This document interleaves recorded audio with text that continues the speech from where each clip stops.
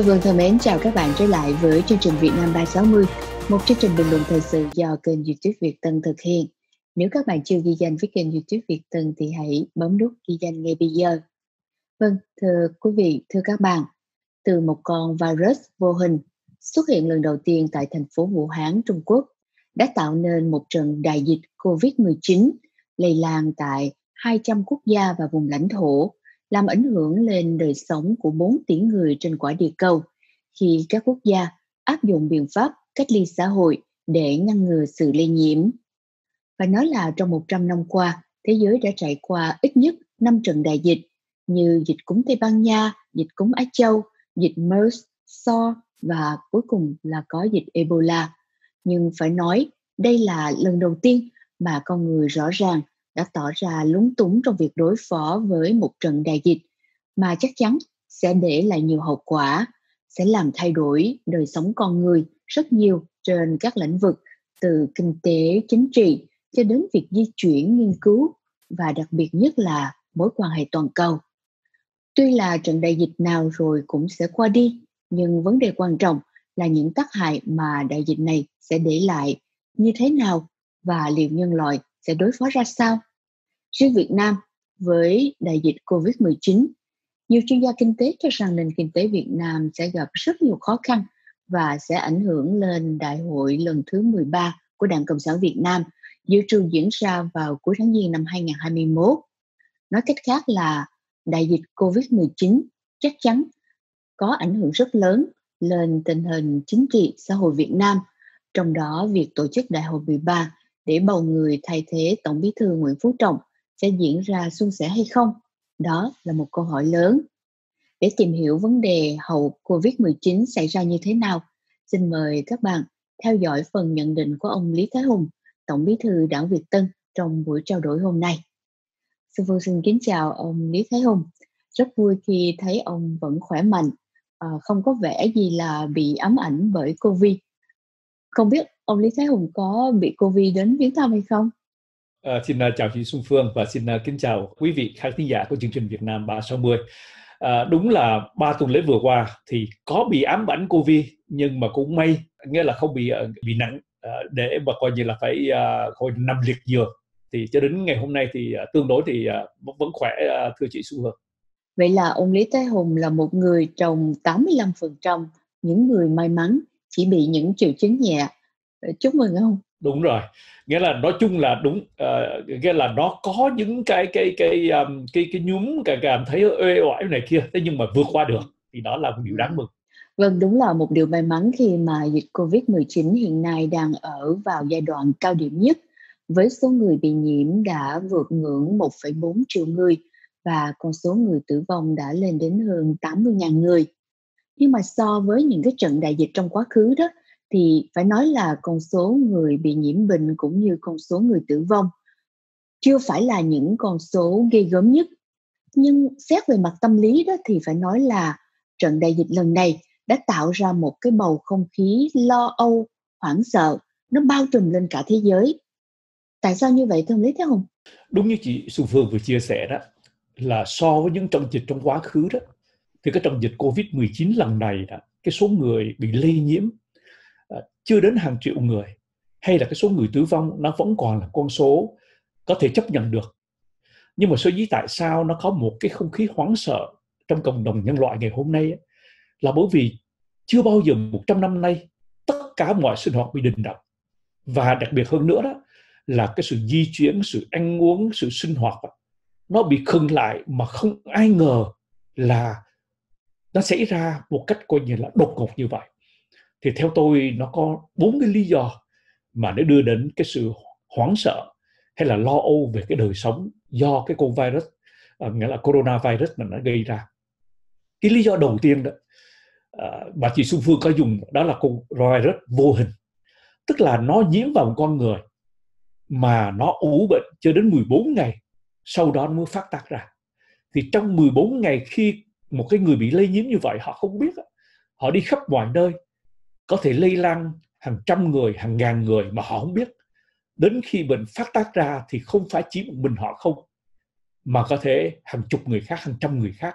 Tức là cái độ lây nhiễm nó nhanh quá lan rộng và lúc đó người ta đối phó không kịp so với những bệnh nhiễm à, bệnh truyền nhiễm trước đây đó thì khi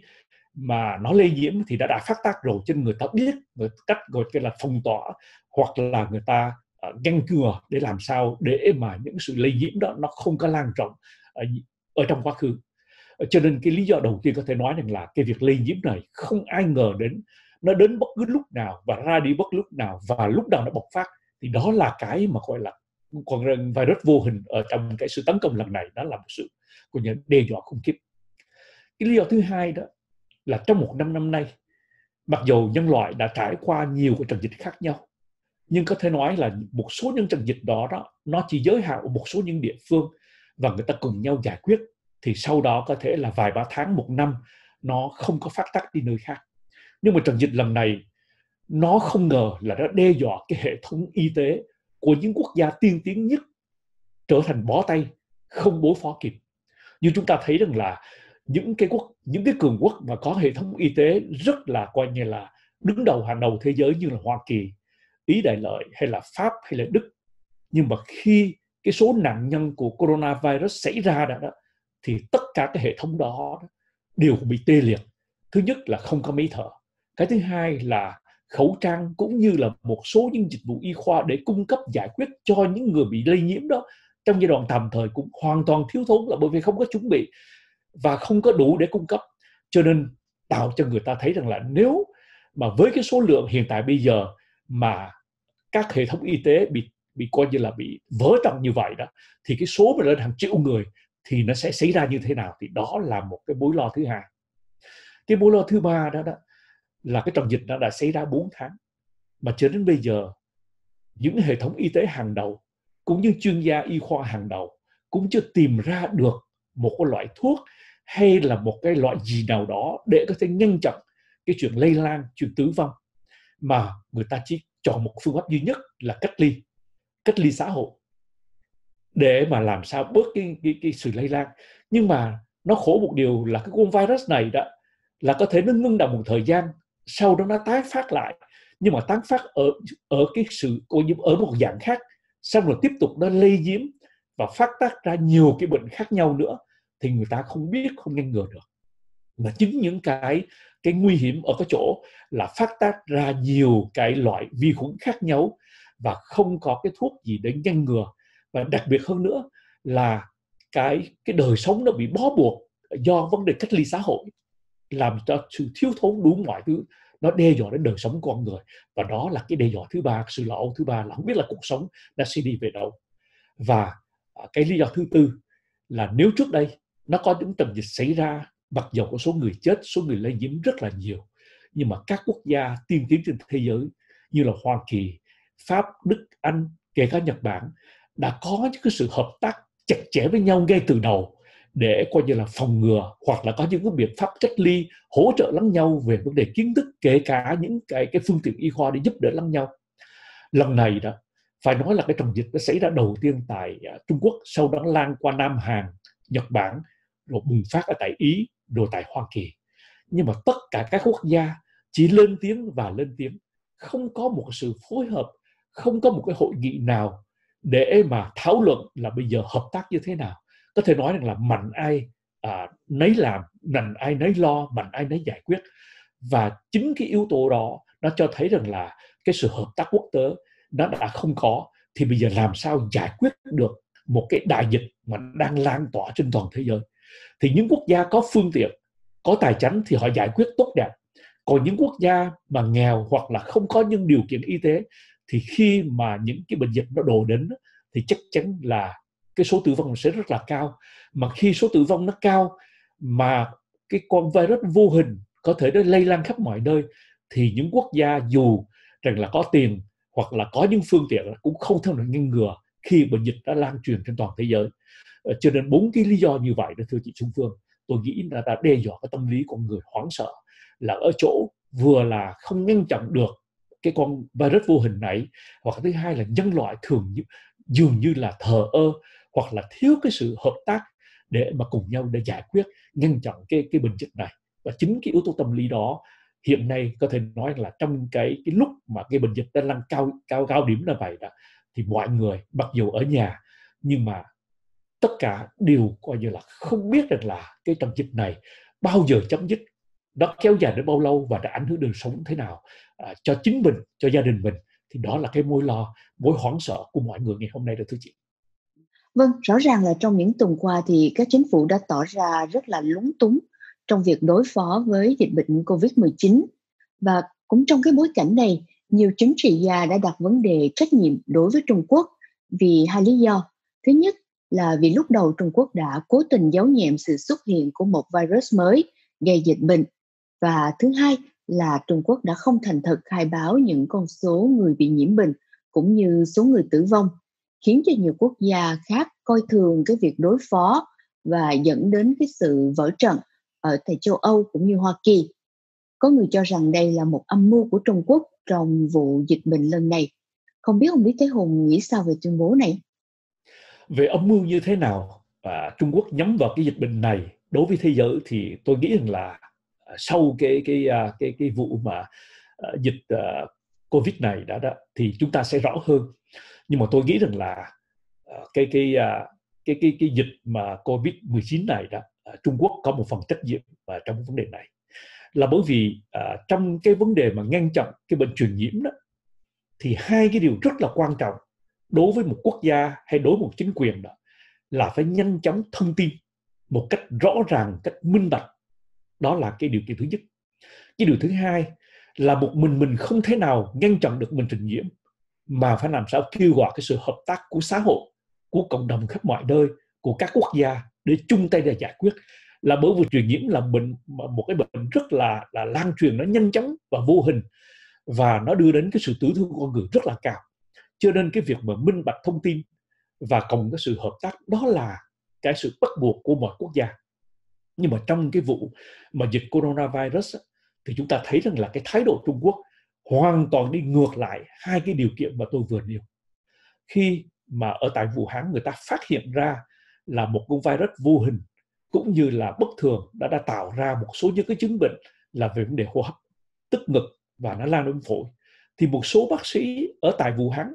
đã lên tiếng cái chuyện này thì công an lại ngăn chặn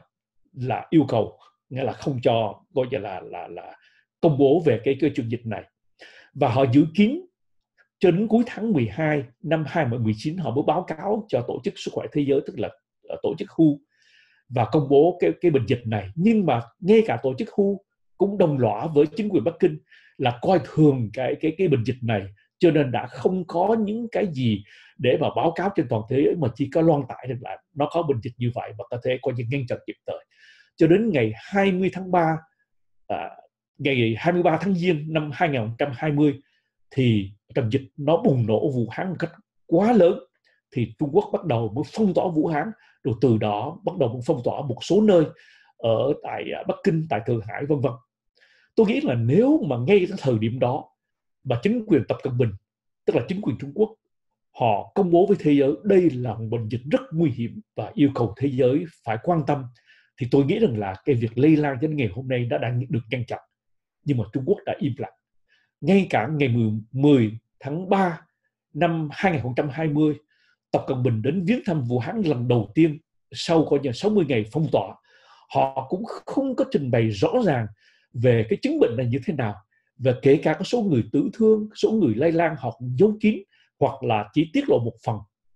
Thì cái điều này tôi nghĩ là nó ảnh hưởng trong cái việc mà ngăn chặn cái bệnh dịch à, uh, Covid-19 này nó rất là lớn.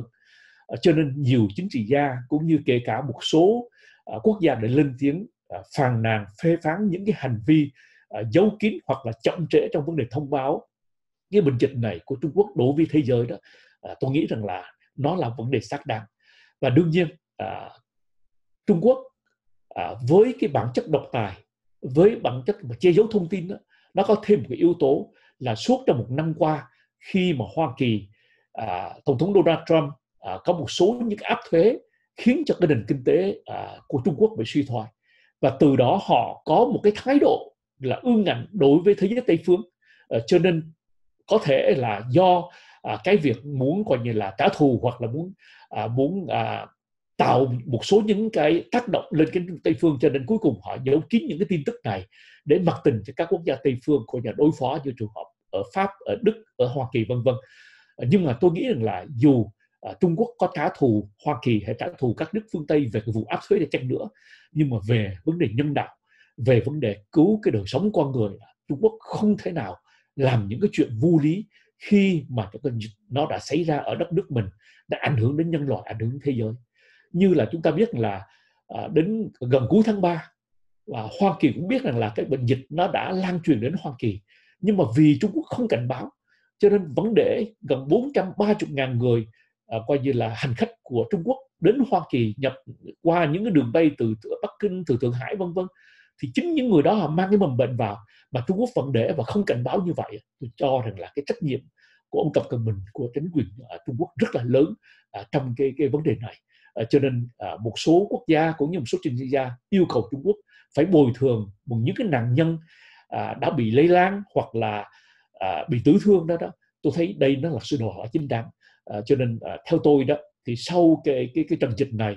à, có thể là mùa hè năm nay thì bắt đầu à, nó được giải quyết xong đó thì cái trách nhiệm của Trung Quốc về cái vụ dịch này đó thì tôi nghĩ bắt đầu sẽ đặt lại và Trung Quốc phải phải phải lên tiếng phải lên tiếng cách chính thức à, xin lỗi hoặc là bồi thường cho những nạn nhân tử thương trong cái vụ dịch này để thưa chị Xuất Phương. Nhìn về Việt Nam thì nói chung là Hà Nội đã ngăn chặn dịch bệnh Covid. Cho đến nay thì chỉ có 250 người bị nhiễm bệnh và chưa có trường hợp tử vong nhờ vào các biện pháp cách ly tập thể các nơi có nguồn có thể tạo ra cái sự lây nhiễm. Nhưng ngược lại thì ít ai tin vào các con số do Bộ Y tế Việt Nam đưa ra. Tuy là dịch bệnh cho đến nay đã không làm vỡ trận hệ thống y tế tại Việt Nam, nhưng các hoạt động về sản xuất, về du lịch, hàng không, khách sạn vân vân đã bị tổn thương rất là nặng. Theo Lý Thế Hùng thì tình hình kinh tế Việt Nam sẽ có những thiệt hại ra sao? Như chị Xuân Phương đã chia sẻ thì cho đến ngày hôm nay cái con số mà gọi là lây nhiễm ở tại Việt Nam nó chỉ khoảng chừng 250 người và không có cái ca nào gọi là tử vong thì đương nhiên ở trên bề mặt thì người ta thấy rằng là cái cách chống dịch của cộng sản Việt Nam thành công tức là nó không lây lan trên toàn quốc và họ đã kiểm soát uh, ngay từ đầu uh, tức là họ đã uh, cách ly tập thể uh, hoặc là đã coi như là cô lập và những cái nơi nào mà họ nghi rằng là có uh, tâm uh, tâm dịch uh, hoặc là uh, có những uh, dấu hiệu có thể lây lan bệnh dịch. Ờ, thì đó là một cái chính sách ờ, có thể là họ kinh nghiệm từ bệnh xa năm 2003 ờ, cho nên họ áp dụng để mà cách ly và từ đó có thể sớm ngăn ngừa. Nhưng mà trong cái chế độ mà độc tài cộng sản giống như là Trung Hoa giống như Trung Quốc đó, thì tôi nghĩ rằng là cái việc mà giấu nhiệm thông tin à, hoặc là à, không có khai báo một cách coi như là chính xác minh bạch đó, đó thì tôi nghĩ đó là cái bản chất chung của chế độ độc tài. Cho nên đối với tôi thì à, mặc dù con số họ công bố rất là thấp nhưng mà tôi không tin vào những cái cái con số này như vậy. À, tuy nhiên à, có thể là trên cái phương diện y tế đó nó chưa vỡ trận là bởi vì cái số người tử thương hoặc là số người lây nhiễm à, nó chưa phải là gánh nặng à, đối với họ. Nhưng mà ngược lại trên phương diện kinh tế trên phương diện đời sống của người dân thì tôi nghĩ rằng là nó ảnh hưởng rất lớn à, ở trên cái cái à, cái cái cái, cái, cái nền kinh tế của Việt Nam. À, là bởi vì à, trong nhiều năm qua à, công sản Việt Nam họ dựa trên sức người tức là họ dựa trên uh, đầu tư ngoại quốc họ dựa trên uh, sản xuất xuất khẩu để mà xây dựng uh, để mà coi như là phát triển cái nền kinh tế trong nước. Chứ không phải là dựa trên thực lực dựa trên cái tiềm năng của đất nước Việt Nam để phát triển kinh tế. Do đó uh, cái mà gọi là coi như phát triển kinh tế GDP mà tăng trưởng uh, rồi cái uh, lợi tức bình quân đầu người của Việt Nam ngày hôm nay lên 2.800 Mỹ Kim trên một đầu người đó có thể nói rằng là nó không dựa trên cái sức lực à, hay là tài nguyên của người Việt Nam mà dựa trên cái đầu tư ngoại quốc tại vì những hàng hóa sản xuất đa số là dựa trên 70% à, từ những công ty ngoại quốc à, Nam Hàn, Nhật Bản, Đài Loan, Hồng Kông, Trung Quốc vân vân. Thế thì khi mà những công ty ngoại quốc họ đầu tư về Việt Nam để làm gia tăng cái giá trị uh, sản xuất đó đó thì đương nhiên họ dùng cái sức lao động của người Việt Nam cho nên có thể nói rằng cái nền kinh tế Việt Nam là dựa trên cái sức lao động của người Việt Nam. Thì khi mà bệnh dịch xảy ra ở tại Trung Quốc thì chắc chắn nó ảnh hưởng vào nền kinh tế Việt Nam rất lớn. Một trong những cái ảnh hưởng đó là gì? Đó là những cái hàng nguyên liệu tơ sợi ờ, da dày để mà giúp gia công ở ở tại Việt Nam. Để rồi xuất khẩu sang Hoa Kỳ, sang Âu Châu đó, thì bây giờ nó đình động à, trong mấy tháng vừa qua. Và nhiều cái công ty mà gia công ở tại Việt Nam bây giờ không có hàng để mà công ờ, để mà lao động làm việc, cho nên họ phải coi như là ngưng. Và khi mà có không có hàng để xuất khẩu thì không bán qua thị trường được. Mà nếu mà Trung Quốc bây giờ có cung cấp hàng để sản xuất thì Việt Nam sản xuất cũng không có thể có thị trường để mà bán ra ngoài, là bởi vì những cái thị trường bên Âu Châu, kể cả thị trường bên à, Nhật Bản, ở bên Hoa Kỳ cũng đang bị dịch ờ, coronavirus à, không thể nào nhập cảng được. Cho nên có thể nói rằng là cái nền kinh tế Việt Nam dựa vào sức bên ngoài đã, đang gặp một cái sự khó khăn mà tôi nghĩ nó sẽ kéo dài từ đến cuối năm. Dù họ có phục hồi chăng nữa nhưng mà họ ảnh hưởng đến cái thị trường à, của Hoa Kỳ à, của Âu Châu và đang gặp những khó khăn mà có phục hồi lại đó. Với cái tình trạng mà à, khó khăn trong cái đời sống rồi người lao động mất việc ở tại Hoa Kỳ tại Âu Châu thì họ cũng không có tiền để mà tiêu xài thì những hàng hóa bán sang cũng như là rất là thấp. Ờ, cho nên chính vì lý do đó mà tôi nghĩ rằng là à, cái dịch coronavirus này nó ảnh hưởng trực tiếp đầu tiên đối với nền kinh tế Việt Nam chính là cái vấn đề sản xuất làm cho những cái hàng hóa à, không có coi như là chế tạo không phải bán đi được. Nhưng mà bên cạnh đó đó thì cái thị trường nội địa Việt Nam cũng bị ảnh hưởng rất là nặng nề. Là bởi chúng ta nhìn thấy rằng là vấn đề du lịch. Trong hai ba năm vừa qua đó à, cái số du lịch mà từ Nhật Bản từ Nam Hàn từ Trung Quốc và từ Âu Châu vào Việt Nam con số càng ngày càng nhiều. Khách sạn được mọc lên cũng như là các cái quán ăn để mà sống nhờ trên cái số lượng người du lịch. Thì bây giờ cái dịch coronavirus nó làm cho tất cả các quốc gia nào vấn đề du lịch kể cả vấn đề hàng không. Thì có thể nói là hiện nay người ta dự, dự kiến rằng là nếu mà cái trận dịch này cái ảnh hưởng nó kéo dài đến mùa hè năm nay thì khoảng 74% trong số 800 ngàn cái doanh nghiệp mà về khách sạn, về du lịch hay là về uh, hàng không đó, đó sẽ phá sản thì cái đó sẽ ảnh hưởng đến khoảng chừng 25 triệu đời sống của người lao động tại Việt Nam. Cho nên chính quyền à, ông à, Nguyễn Xuân Phúc vừa mới ban bố một cái coi như là một cái nghị định nó gọi là sẽ à, tháo khoáng một cái số tiền cỡ khoảng chừng 2,5 tỷ Mỹ Kim để mà giúp để mà nuôi cho khoảng 25 triệu người lao động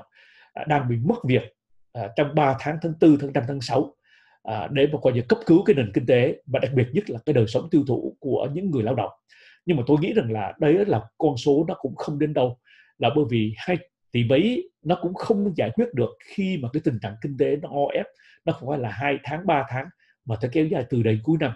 À, cho nên chính vì lý do đó tôi nghĩ rằng là cái ảnh hưởng trực tiếp là cái nền kinh tế Việt Nam sẽ gặp khó khăn và từ đó nó ảnh hưởng đến cái đời sống người lao động và từ đó có thể nó tạo ra một số những cái rối loạn xã hội do về cái tình trạng kinh tế suy thoái đấy thưa chị một điểm mà ông Lý Thái Hùng vừa nói đến đó là sự lệ thuộc nặng nề của nền kinh tế Việt Nam vào cái nguồn nguyên liệu sản xuất nhập khẩu từ Trung Quốc. Nhiều chuyên gia cho rằng sau đại dịch, Việt Nam cần phải tính toán, cần phải thay đổi để mà giảm bớt hoặc là để không còn lệ thuộc vào Trung Quốc nữa. Ông Lý Thế Hùng nghĩ rằng Cộng sản Việt Nam có khả năng để thoát trung được hay không? Ít nhất là trên phương diện kinh tế nhiều chuyên gia và nhiều người cũng kỳ vọng rằng là đây là cái cơ hội để mà Việt Nam à, thoát ra khỏi cái sự ảnh hưởng đặc biệt nhất là vấn đề kinh tế à, người ta gọi là thoát trung À, nhưng mà tôi thì nghĩ ngược lại à, là bởi vì lý do đó là qua cái những cái bệnh dịch coronavirus này đó cộng sản Việt Nam không những không thoát trung được mà càng ngày là càng gắn chặt vào vấn đề Trung Quốc nhiều hơn. Là bởi vì theo tôi là, như tôi có đề cập lúc nãy, là cái nền kinh tế của Việt Nam hoàn toàn phát triển như ngày hôm nay là dựa vào sức của bên ngoài, tức là dựa vào đầu tư ngoại quốc là chính. Mà đầu tư ngoại quốc lợi dụng vào cái lao động rẻ để mà gia công, mà những hàng hóa để gia công là đa số nhập từ Trung Quốc. Từ vì những là trang thiết bị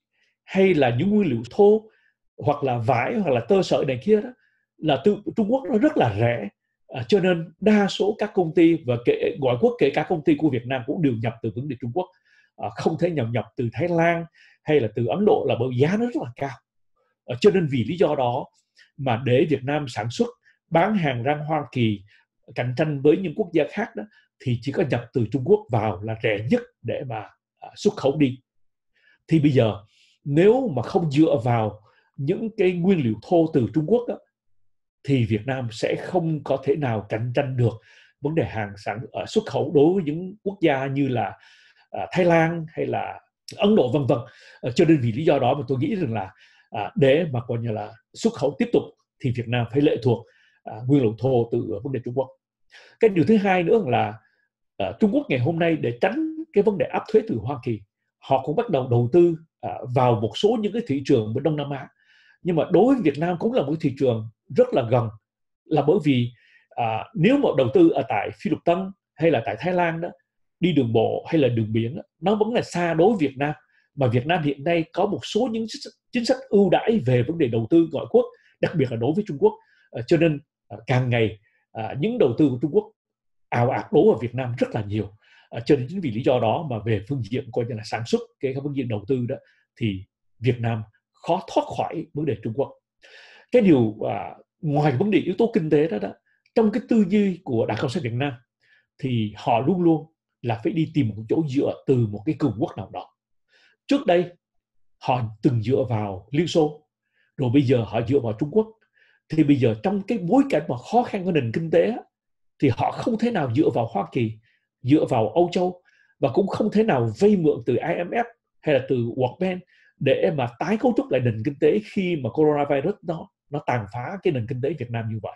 Thì chỉ có Trung Quốc là cái nơi mà từng giúp đỡ họ trong 30 năm vừa qua. Thì Trung Quốc là cái nơi mà có tiền để giúp cho họ vay mượn để coi như là xây dựng lại cái nền kinh tế khi gặp khó khăn, thiếu tiền hoặc là thâm thủng ngân sách này kia vân. Cho nên cuối cùng lại đó, thì Trung Quốc vẫn là chỗ dựa an toàn nhất cho lãnh đạo cộng sản Việt Nam để họ coi như là củng cố lại nền kinh tế tái lập lại nền kinh tế do sự khó khăn do sự coi như là ờ, suy sụp suy thoái từ cái vấn đề coronavirus. Uh, cho nên nhìn trên cái viễn cảnh uh, tình hình trong vòng vài ba năm trước mặt thưa chị Xuân Vượng và thưa quý vị tôi vẫn nghĩ là cộng sản Việt Nam thay vì thoát trung họ lại càng ngày càng lệ thuộc vào Trung Quốc để sống còn ở trong cái bối cảnh mà khó khăn do coronavirus xảy ra được thưa chị nói về nội bộ đảng cộng sản Việt Nam thì đáng lý là trong tháng 4 đảng cộng sản Việt Nam sẽ tiến hành đại hội đảng cấp cơ sở để mà đến tháng 10 là có đại hội cấp tỉnh thành và sau đó là đúc kết danh sách tân trung ương đảng để mà tiến hành đại hội 13 vào tháng Giêng năm 2021. Tuy nhiên thì dịch bệnh COVID-19 đã làm cho lịch trình này bị trì hoãn. Theo Lý Thế Hùng thì đại hội 13 có thể bị trì hoãn hay không? Và nếu bị trì hoãn thì có ảnh hưởng gì đến những sắp xếp nhân sự tứ trụ hay không không? tôi nghĩ rằng là à, cái chuyện mà trì hoãn có thể nó sẽ xảy ra là bởi vì à, ngày 7 tháng 4 vừa qua đó thì ban bí thư uh, trung ương đảng họ đã ra một cái chỉ thị rằng là sẽ dời uh, tất cả những cái đại hội cấp cơ sở tức là cấp chi bộ uh, qua đến uh, có thể là mùa hè uh, tới đây là bởi vì theo cái dự trù của đảng cộng sản việt nam để chuẩn bị cho cái đại hội 13 diễn ra vào cuối tháng giêng năm 2021 á, thì họ có một số những cái lịch trình chuẩn bị đại hội cấp cơ sở. À, từ tháng tư à, tức là là hiện tại bây giờ à, cho đến khoảng chừng à, cuối tháng 6 đó thì tất cả các nơi à, phải xong cái đại hội đảng à, cấp cơ sở tức là cấp chi bộ à, để bầu à, ban chấp hành mới cũng như là đề cử à, đại biểu. Rồi đến à, đầu tháng 7 cho đến cuối tháng 8 đó thì họ sẽ tổ, ờ, tổ chức đại hội à, đảng bộ cấp quận cấp huyện để mà coi như là chốt cái danh sách của các đại biểu mà từ cấp cơ sở đề cử. Rồi à, đến đầu tháng 8 cho đến cuối tháng à, 11 thì họ sẽ tổ chức xong cái đại hội cấp tỉnh thành. Tức là à, 63 tỉnh thành trực thuộc trung ương để bầu bí thư cũng như là à, chốt cái danh sách à, về đại biểu và kể cả những cái đề cử Ờ, về cái vấn đề tân trung ương đảng cũng như là họ thông qua ờ, những cái văn kiện ờ, về vấn đề ví dụ như báo cáo chính trị hoặc là cái đề cương về vấn đề cải cách kinh tế, xã hội, vân vân để mà trung ương đảng duyệt lần cuối cùng và chuẩn bị về vấn đề thành phần tân trung ương đảng tứ trụ vào cái phiên họp tháng 12 cho đến đầu tháng giêng năm 2021 và nếu những cái đó mà hoàn tất xong đó đó thì họ sẽ có hai tuần lễ để chuẩn bị và công bố cái ngày à, chính thức để tổ chức đại hội đó là vào cuối tháng giêng năm 2021 thì lần này à, như theo cái cái thông cáo à, của ban bí thư như vậy thì họ chuyển hạn cái cái việc mà tổ chức cái đại hội đảng bộ cấp cơ sở khoảng 2 tuần à, xin lỗi khoảng 2 tháng tức là kéo dài đến tháng 5 tháng 6 đó. Thì tôi nghĩ là đại hội đảng lần thứ 13 chắc có lẽ họ sẽ phải chuyển hàng uh, cho đến khoảng chừng hai hai tháng tức là thay vì tháng giêng thì họ sẽ kéo vào à, tức là tổ chức vào khoảng tháng 3 hay tháng 4 à, năm 2021 À, tuy nhiên tôi nghĩ rằng là cái việc mà họ à, sẽ tổ chức tháng giêng hay là tổ chức tháng 3 tháng 4 năm 2021 á, thì nó cũng sẽ không ảnh hưởng gì nhiều trong cái sinh hoạt của đảng. À, là bởi vì à, trong cái tình hình đảng cộng sản ngày hôm nay á, có thể nói là cái phe nhóm ô Nguyễn Phú Trọng đã kiểm soát quyền lực khá chặt chẽ và những người mà họ sắp xếp và chuẩn bị đưa vào để thay thế thành phần trung ương đảng của nhiệm kỳ 13 này đã cũng là những nhân sự đa số là từ phe nhóm của Nguyễn Phú Trọng. Và cái người mà chuẩn bị để thay thế Nguyễn Phú Trọng à, trong cái đại hội lần này đó là ông Trần Quốc Vượng sẽ là tổng bí thư đảng. Thì cái việc mà cái vai trò của ông Trần Quốc Vượng thường trực ban bí thư ngày hôm nay có thể đó là sát cánh cùng với ông à, à, Nguyễn Phú Trọng đó thì bây giờ à, thay thế ông Trọng vào tháng giêng hay là thay thế ông Trọng vào tháng 4 tháng 5 đó thì tôi nghĩ là cái quyền lực trong đảng cũng như quyền lực của ông Nguyễn Phú Trọng với ông à, với ông Trần Quốc Vượng nó không thay đổi gì nhiều.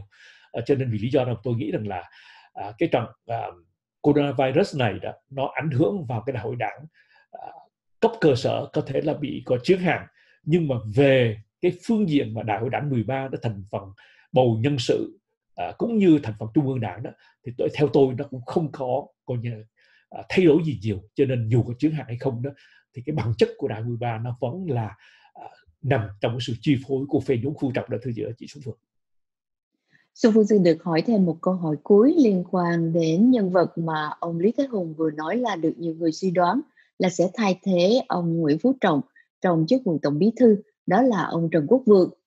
Thì mới đây, ông Trần Quốc Vượng đã thay mặt Bộ Chính trị ký quyết định tiếp tục tiến hành chính sách kinh tế tập thể hợp tác xã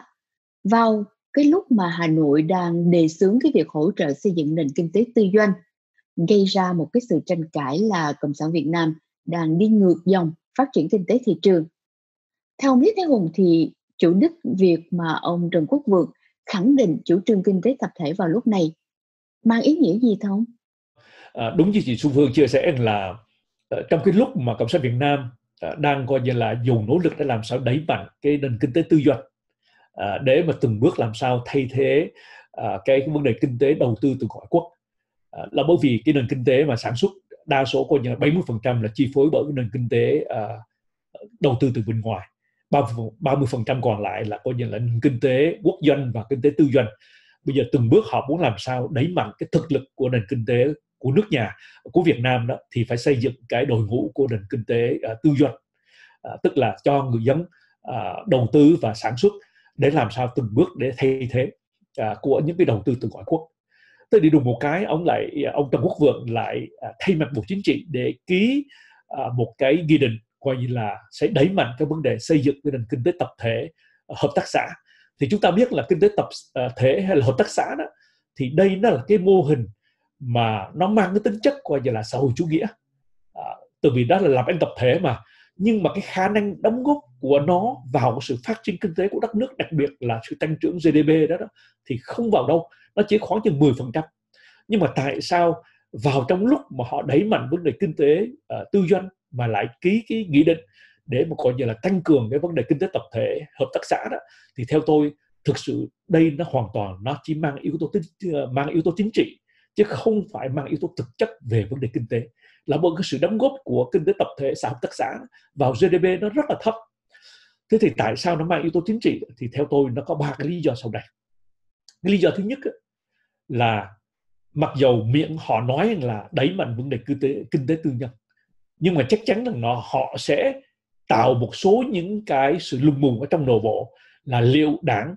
có coi như là bỏ đi cái quan điểm về vấn đề đường lối Mark Lenin để rồi đi theo kinh tế thị trường uh, kinh tế tư bản. Uh, cho nên vì lý do họ muốn làm an lòng à, uh, 3 triệu đảng viên là đảng vẫn tiếp tục uh, duy trì cái đường lối Mark Lenin. Cho nên họ phải coi như là ra cái nghị định đó để làm gì? Để cho thấy rằng là đảng vẫn tiếp tục uh, cái kinh tế tập thể cái kinh tế và hợp tác xã để mà coi như là xác định rằng là vẫn tiến theo cái con đường coi như là Mark Lenin à, xã hội chủ nghĩa. Thì tôi nghĩ đó là cái yếu tố coi như là tâm lý chính trị ở trong nội bộ. Cái lý do thứ hai đó, đó là trong thực tế đó là ngày hôm nay cộng sản Việt Nam vẫn họ vẫn tiến hành kinh tế tập thể đặc biệt là hợp tác xã. Thì uh, từ vì ở nông thôn đó, đó thì cái thành phần lao động ở nông thôn nó chiếm khoảng chừng à, 46% tức là nếu mà cái thành phần lao động ngày hôm nay là 54 triệu người trên toàn quốc á, thì trong số 46% của 54 à, triệu người đó đó thì đa số nằm ở nông thôn. Thì ở nông thôn thì đa số những nông dân hoặc là những người mà à, trồng trọt hoặc là chăn nuôi đó tất cả đều vô hợp tác xã hết. Bởi vì sao? Bởi vì cộng sản việt nam buộc những người này vào hợp tác xã là bởi vì đây nó là hạ tầng cơ sở của đảng ở nông thôn. Và cơ sở đảng ở tại nông thôn đó mà sống còn được đó, là nhờ những hợp tác xã này để mà họ duy trì được quyền lực của đảng kể cả họ giữ được những sự sinh hoạt của đảng mà tiếp tục duy trì ở trong những hợp tác xã này. À, cho nên có thể nói rằng là hợp tác xã hay là kinh tế tập thể nó là cái nôi để nuôi những cái sinh hoạt của đảng ở tại địa phương. Mà 40 46% à, lao động là nằm ở nông thôn là vấn đề là lý do là như vậy. Và điều sâu cùng lý do thứ ba đó là nói gì nói à, trong cái à, bối cảnh ngày hôm nay mặc dù cộng sản Việt Nam đã à, phát triển một số những hạ tầng cơ sở ở tại thành phố nhưng mà nông thôn vẫn là cái nơi tập trung dân số đông nhất và nông thôn vẫn là cái nơi mà Đảng Cộng sản Việt Nam cũng tạo những cái ảnh hưởng để duy trì à, về vấn đề an ninh chính trị. À, cho nên à, khi mà họ duy trì những cái thành phần kinh tế tập thể hoặc là hợp tác xã đó thì giúp cho đảng để có thể theo dõi quan sát những cái đời sống kể cả những sự suy nghĩ tâm tư của người nông dân. Là bởi chắc chắn nó sẽ ảnh hưởng đến những cái đời sống à, của thân nhân họ hàng ở những thành thị. À, cho nên à, những cái sự kiểm soát chặt chẽ ở nông thôn đó nó cũng là cái điều quan trọng để giữ vấn đề an ninh à, trên toàn lãnh thổ. À, cho nên cái à, cái hợp tác xã hay là thành phần kinh tế tập thể ở nông thôn đó, đó nó duy trì ở nông thôn nó giúp cho họ để duy trì được cái chế độ lâu dài là bởi vì đa số dân số Việt Nam ngày hôm nay ở nông thôn vẫn là vấn đề chính. Cho nên theo tôi với ba cái lý do mà tôi vừa chia sẻ như vậy đó thì cái việc mà ông Trần Quốc Vượng thay mặt ờ, Bộ Chính trị để tiếp tục ký cái nghị định liên quan về kinh tế tập thể hợp tác xã đó nó chỉ là giúp để tăng cường yếu tố chính trị của đảng để mà ảnh hưởng trên cái đời sống người dân chứ thực sự ra nó không đóng góp gì về vấn đề kinh tế là bởi vì à, theo cái tỷ lệ và đóng góp về GDP đó nó chỉ có khoảng 10% so với những nền kinh tế khác thì đó thì đó, cuối cùng lại theo tôi hoàn toàn nó mang yếu tố chính trị thôi là thưa chị Xuân Phương.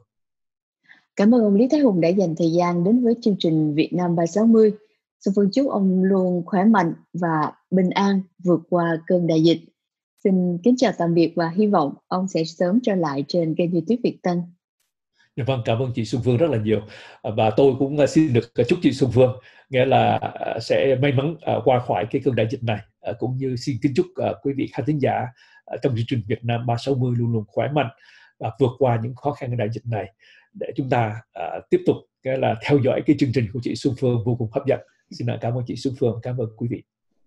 Xin cảm ơn Lý Thế Hùng. Xuân Phương cũng cảm ơn các bạn đã theo dõi chương trình của chúng tôi và rất mong nhận được nhiều góp ý của các bạn. Và các bạn cũng đừng quên chia sẻ chương trình đến cho nhiều người cùng xem. Và một lần nữa nếu các bạn chưa ghi danh với kênh youtube Việt Tân thì đừng quên bấm nút ghi danh. Thân mến chào tạm biệt và xin hẹn gặp lại các bạn trong những chương trình lần tới trên kênh youtube Việt Tân. you